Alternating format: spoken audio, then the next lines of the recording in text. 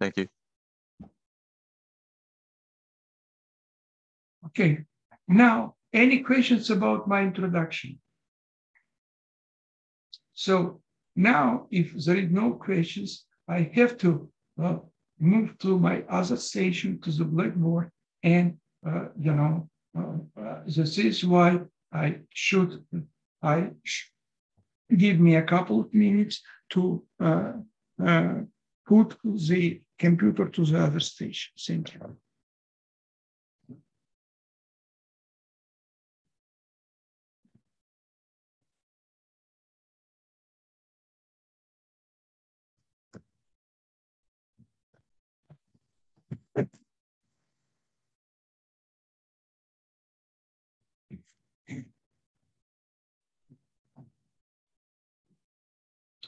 Did you see the whiteboard?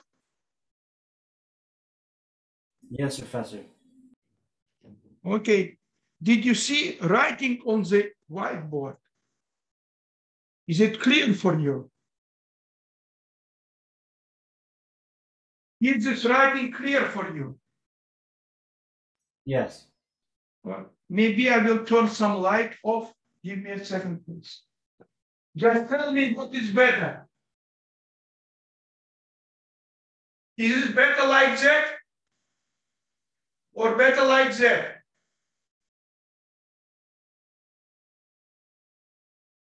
This is good. This right here is good. Okay, okay. This means I will stay with this one.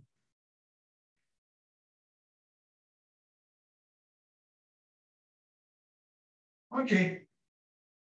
So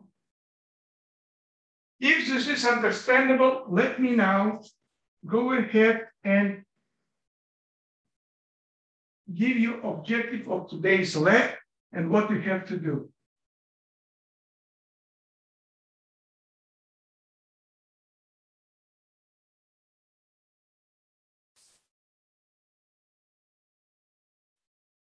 So if the color which I'm using is not visible for you, you have to tell me I will change the color, okay?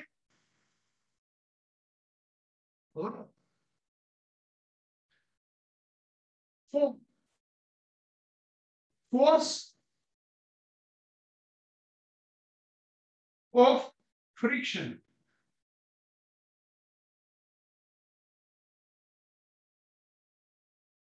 You know, if you have any object which is on the surface between this object and surface exists the force of friction if you its object moving in this direction, moving in this direction, you know, V in this direction, friction X producing the frictional force, which is a friction, which is uh, always directed against the motion, always directed against the motion. So this object has mass m, and this means this object act on this surface with the force which is mg, right? From the other side, this surface act on the object with opposite force, which is normal force. Normal force. Normal force, this is the force which act by, by surface on any object which is on this, on this surface. The frictional force, force of friction, F friction, directly proportional to the normal force. So directly proportional. This means more normal force, more friction. So the coefficient of proportionality depends on the surface and surface of the object. So if, if the surface which you are moving is smooth enough, or object also smooth enough, the frictional force is less. If surface is rough enough, frictional force will be bigger. So the coefficient of proportionality between them is known as a coefficient of friction. And we can write a friction equals mu times n, where this mu is coefficient of friction. Mu mu coefficient of friction.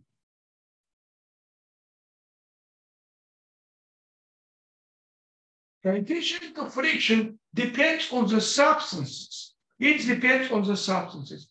For different substances, coefficient of friction is different. What is important that coefficient of friction mu is always less than one and more than zero, okay? If it's more than, if it's zero, object doesn't move at all. If it's zero, there is no friction at all. If mu is one, object doesn't move at all, okay? So the objective of today's lab is to study force of friction. Friction related to the motion is known as a kinetic friction.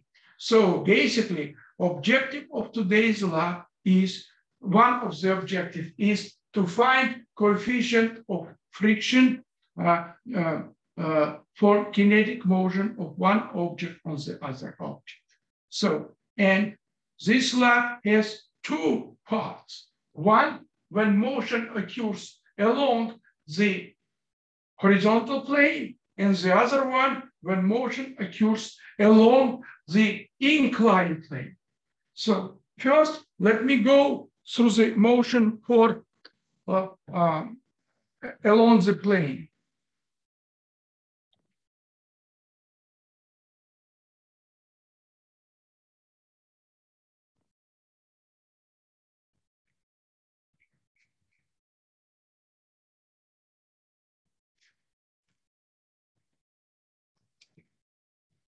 So when object moves along the plane, we have to find coefficient of friction.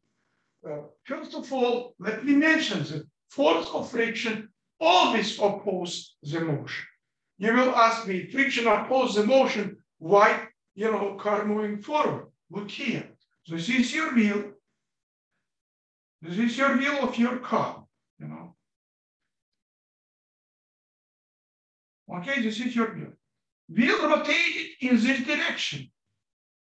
Frictional force, when it's rotated in this direction, frictional force act in this direction. This is a friction. And this is why it's moving in this direction. So if you see, it's against opposite to the motion of what? Wheel, not a car. Wheel rotated in this direction, frictional force producing in this direction. So, and this is why, why car is moving. Okay, so, but you see, it's opposite because rotation goes in this direction, rotation, you know. So, but force is in this direction. So, first of all, we will consider motion along the straight line, this one. So, what the experiment is designed the following way. You have the object, this object on horizontal plane, you know, and here, there is a pulley. Okay?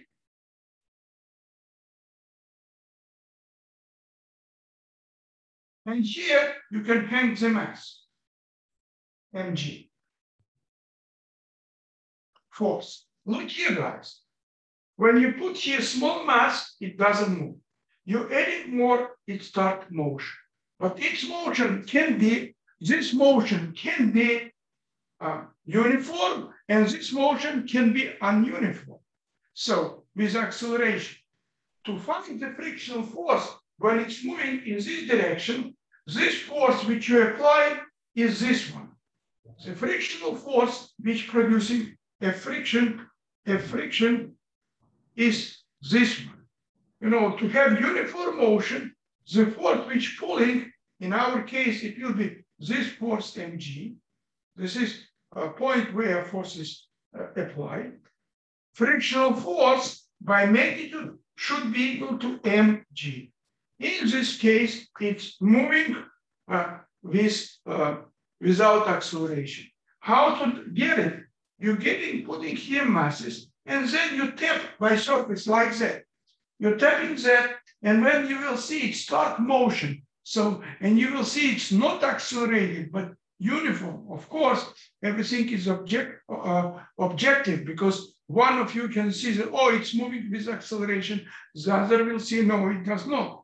However, somehow average, when these two forces will be equals, I will have frictional force mu, friction force mu times normal force equals to mg. Okay, so but uh, uh, equals to mg. Okay, which hanging mg, mg frictional force n equals to mass of the object m capital times g. If I will plug this, I'm getting mu equals uh, mu times m capital G equals m small g, okay? So g and g cancel out, and I see that mu equals m, which hanging mass divided by m capital. So in other words, by having hanging mass and mass which is moving, you know, you can find coefficient of friction. This is first part of experiment when which you will perform. First part of this experiment, okay? So now, now, uh, so uh, now let me consider the second part of experiment where object is on inclined plane, okay? On inclined plane. To consider that, we have to uh, we have to draw absolutely different uh, free body diagram, absolutely different free body diagram. So what free body diagram we will do now, okay? So uh, let me use, uh, did you see this part, guys? Is it visible for you? Okay, if it's so, let me make now the graph. What's happening now? When you have inclined plane,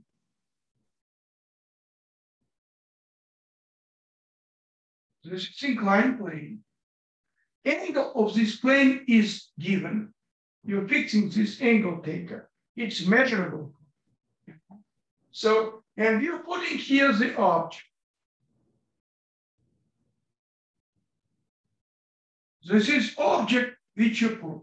It has mass m. Object has mass m.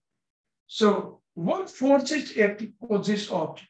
Of course, on this object act, let me use red color. If you not see, let me tell me please. The force of mg force is acting vertically down okay, vertically down like that. This is force mg, okay?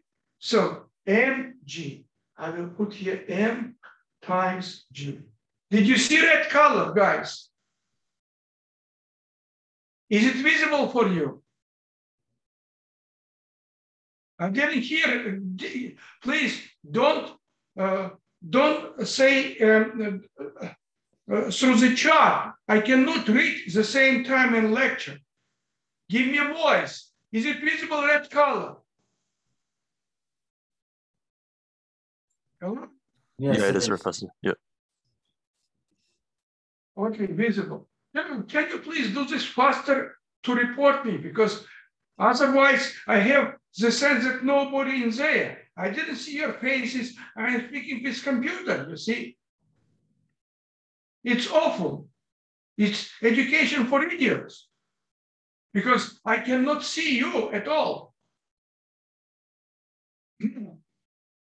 Because this must move uniformly, I have to resolve this force by two forces. Okay, one force, this one, which is perpendicular to the surface. This is one component of this force. One component of this force.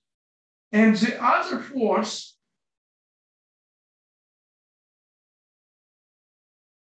the other force component, it will be which moves along, along the surface.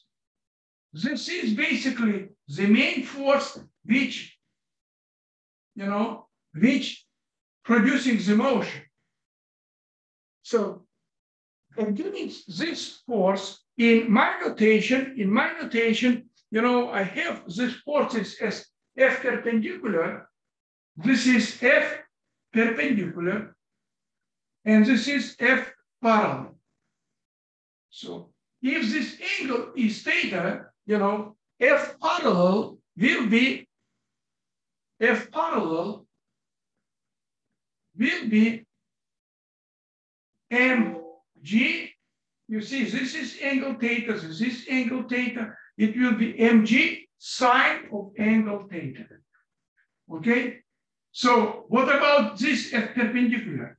F perpendicular will be mg times cosine of theta. Okay? Now, the frictional force which acting, it should be opposed to this force. Opposed, this means it should be directed like that.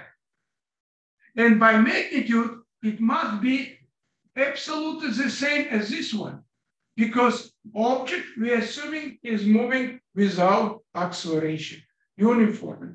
Only in this case, if this force and this force, they will uh, equal to each other by magnitude and opposite by direction, the object will move uniformly. From the other side, this perpendicular force should be also, should be also, uh, you know, eliminated by equilibrium force. And this force is the force of normal force N. This is my normal force N. Okay, so as you know, as I uh, wrote, a frictional force equals to normal force uh, uh, equals to coefficient of friction mu times normal force. But in my case, normal force equals to F perpendicular. F normal equals to F perpendicular. So if I will plug this, I'm getting the frictional force equals to mu times n mg times cosine theta. Okay, cosine theta. Okay, this is what is. So, but this force, this force should be equal by magnitude F parallel because these two forces have to compensate each other if object moves uniform. This means from the other side, F friction should be equal to F parallel. So this is the value of F friction, this is value of F parallel. So I will write that F mu mu times mg cosine theta equals to this force mg times sine theta. Okay, so what you can see from here, from here you can see that this m and this m cancel out. This g, this g, and this g, and this g cancel out. And finally, I will have that mu, mu cosine theta equals to sine theta. From this equation, solving this equation, I am getting that mu equals coefficient of friction mu equals to what? Sine theta divided by cosine theta. But sine theta over cosine theta, this is tangent theta. This means finally I am getting that mu equals to tangent of angle theta. So this is the main equation which allowed me to find mu. So by moving this inclined plane, so by changing angle, I always able to get the angle when it starts sliding. by tapping of the surface, I will find this angle. If I know this angle, I will calculate tangent and I will get coefficient of, of, of coefficient of, of uh, friction. So in our case, coefficient of kinetic friction. So did you see, we determine mu when it moves on horizontal plane, and we determine mu when it moves on, on um, inclined plane. However, you know, because the material is the same, coefficient of friction should be close to each other. So in other words, the objective is to find this coefficient of friction. Okay, so if I will share with you now screen. Uh, uh, first of all, any questions for, for this explanation? Because I have to move to the other station now.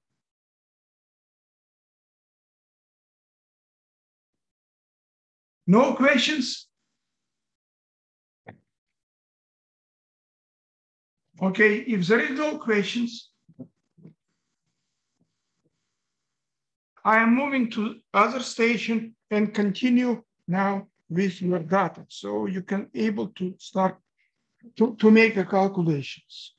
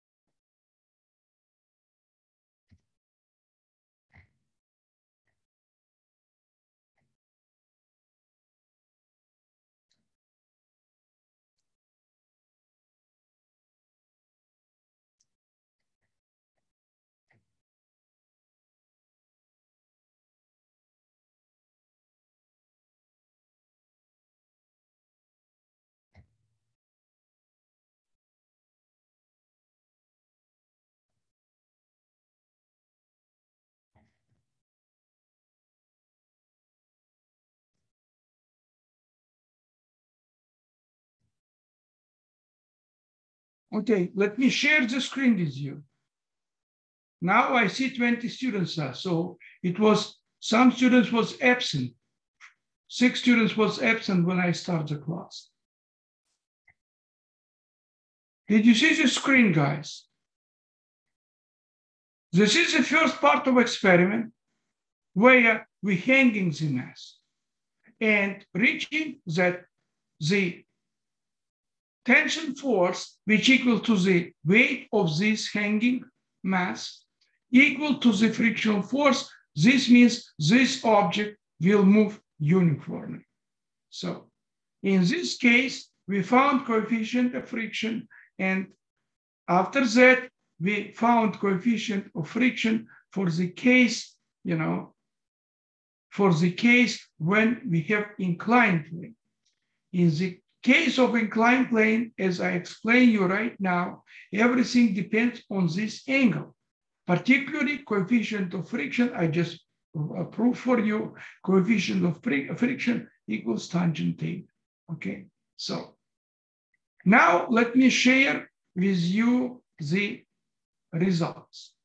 So, you know, when you have on horizontal plane, did you see this one? When you have on horizontal plane, you're putting here additional masses. You're adding masses and you're adding masses here so that it will, for different masses, it will be different mass here. So you can, uh, you can uh, initiate the motion of that. So here in table one is given the following for you that initial mass of the block is this one. Hanging mass is 7.5 kilogram, 75.5 kilograms. Then you adding to block on horizontal surface additional 100 grams. Hanging mass becomes 105.5. Then you adding additional 100 mass. It becomes 131. Then you adding additional, it becomes 165. additional it becomes 92. Okay, for each of them, you plotting the graph. Uh, you, you calculate coefficient of friction, okay? So uh, this is on horizontal plane, okay? Now, now, so as a result, your coefficient of friction, final kinetic friction you're getting here as a result of such calculations, which here is described, you know. So you have to plot the graph, you have to plot the graph, uh, this mass versus this mass. And slope of this mass, slope of this graph gives you coefficient of friction. So here it's written in detail that determines the slope of the graph and the value of the slope equals the coefficient of friction. I believe each of you sees it. Let me highlight that. Okay, this is how you will determine coefficient of friction for the first for, first part of experiment. So, and this is table number one. For table number two, you putting on the top of the slide, you putting the first mass, which 100 grams, and measuring angle. Angle becomes 17 degrees, okay? You're putting additional 20 grams, angles becomes 18.5. You're putting additional 50 grams, you know, angle becomes 19. You're putting additional 30 grams, so angle becomes 17.5. For each of them, you're calculating the tangent of this angle.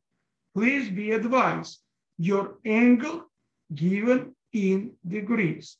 If your calculations perform uh, using Excel, you have to convert this angle from degrees to the uh, from degrees to the radians. How to convert it? You know. So let me write here for you. Uh, this is in degrees. This is in degrees. Okay. So now, how to calculate this in radians? It's equal to the following equal to the following. Um, this angle theta, so it will be 17 times times by 3.14159. What is this? This is P, pi, right? 3.14159, it's pi and you divide it all that, you divide it all that by 180. Okay, this is how you converted all this stuff from degrees divided from degrees to radians. So in other words, result will be in radians in this case, okay? And this one you put it in your in your Excel. As a result, you're able to calculate. Is it clear, guys? So this is all calculations. It's very simple lab. There are the questions which you have to uh, uh, write the answer. Let me put these questions like that. You know, this is mandatory for each of you. If you didn't do it, automatically 10 points off. So if there is a problem to solve the problem, you must show all work, not the answer. Show all work. If you have to derive something, you have to show all work also. On this point, I finished my explanation for you. And now, please, if any questions, I am here to answer for them, to give you answer and please start working for your calculations, plotting the graph and so on. I am stay with you. I am stay with you here. So any questions you can ask me. Please don't write. Ask me.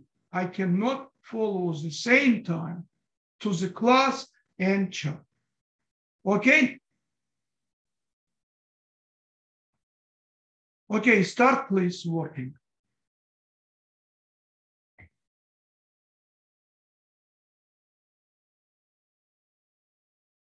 Currently, I have 20 students. And as I mentioned for you, I didn't have any yet submission for vector addition yet. I didn't see any. By the end of the day today, you'll have your grades for acceleration with gravity.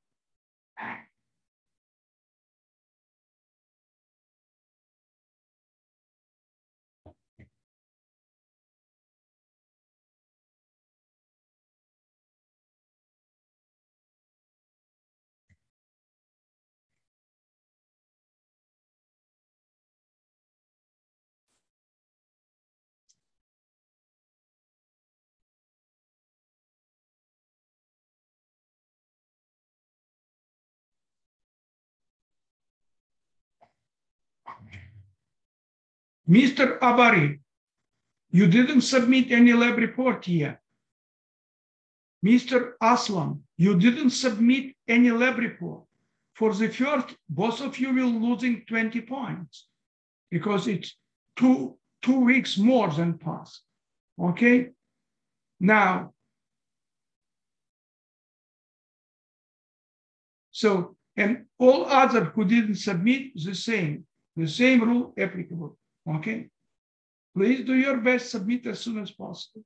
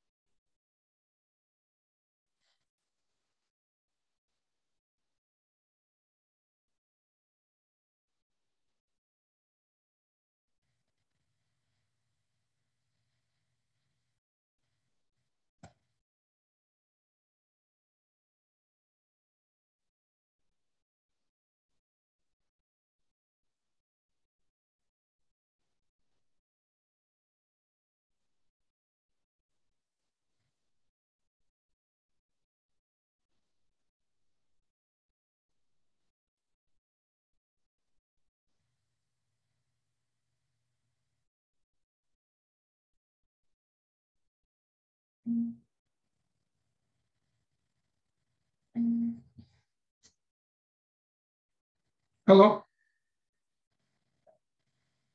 No, no, it's okay. It's okay. Ru- So I uh, saw uh, your uh, uh, person who is working there. I gave him uh, the size, everything, because I thought maybe you didn't see my uh, uh, text yesterday.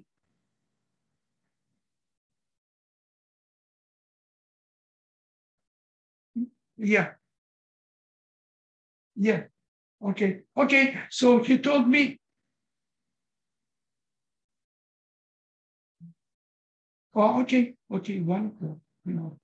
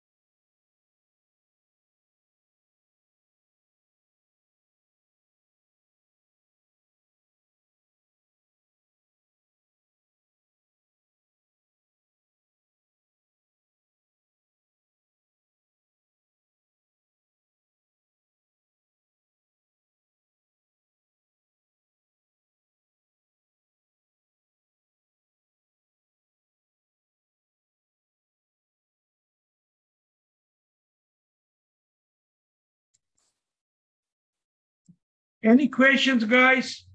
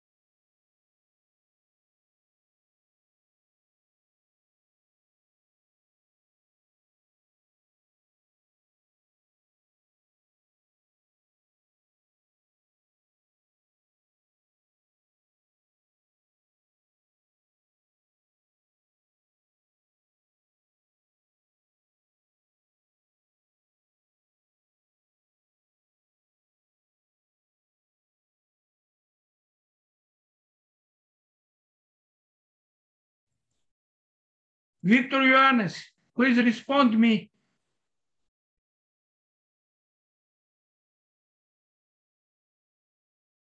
Victor, Yes, Professor. uh, you submit your lab report as different pages, JPEG pages. I cannot check that.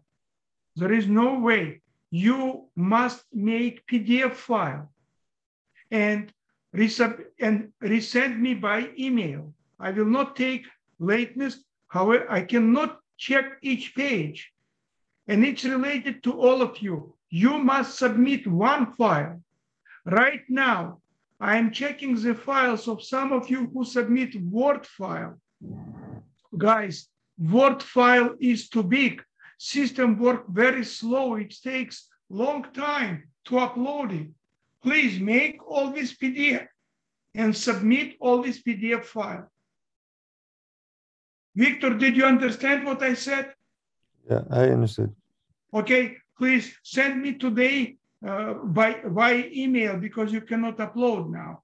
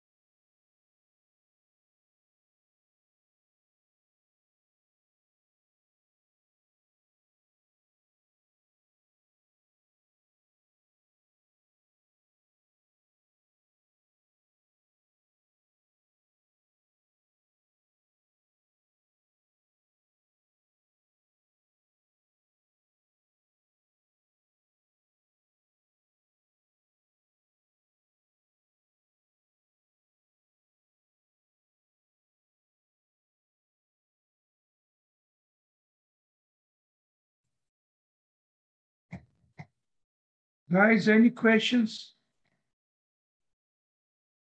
Any questions or any help you need? I'm here.